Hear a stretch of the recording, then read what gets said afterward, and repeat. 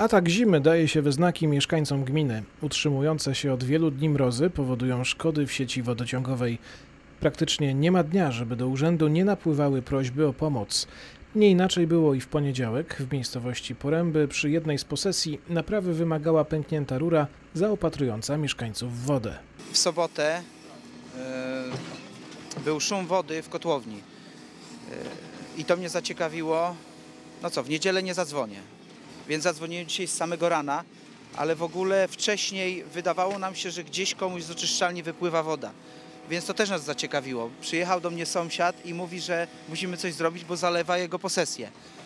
No ja tak sobie skojarzyłem ten szum wody, poodcinałem wodę w domu, no i rzeczywiście stwierdziłem, że może gdzieś być nieszczelność na nitce i zgłosiłem. Co prawda powiem szczerze, że od telefonu do y, przyjazdu tutaj ekipy, to myślę, że utrwało z 15 minut.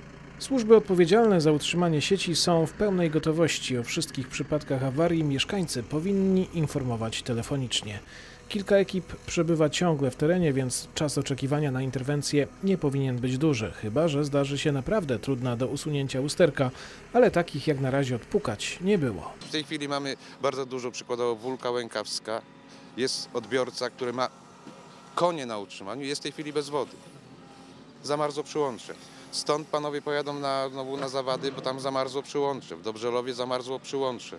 W tej chwili jeździmy tylko elektrycy i hydraulicy jeżdżą, usuwają takie usterki. Dziennie ile takich zgłoszeń może być nawet? No, w soboty było chyba z 8, wczoraj były też, także pracownicy są w sobotę, niedzielę na, na telefonie. Powodem pękania rur jest nie tylko naturalna korozja, ale i niewystarczająco głębokie ich zlokalizowanie. Mróz powoduje, że płytko osadzona rura staje się podatna na usterki. Warto podkreślić, że od stycznia koszty takich napraw przejął na siebie Urząd Gminy. Mieszkańcy nie ponoszą żadnych opłat z tego tytułu. Z automatu można powiedzieć, że my bierzemy na, na siebie odpowiedzialność za Od przyłącze. przyłącza, odcinka. No bo, bo pana wodomierz w tej chwili nie, nie chodzi i nie obciąża pana z wodą. Nie, No, nie. a, wodo, a przyłącze jest pana w gestii, zgodnie z ustawą. Ale od kiedy tak jest? Od, od początku ustawa o tym mówi. Prognozy pogody nie są optymistyczne. Siarczysty mróz będzie utrzymywał się jeszcze przez jakiś czas.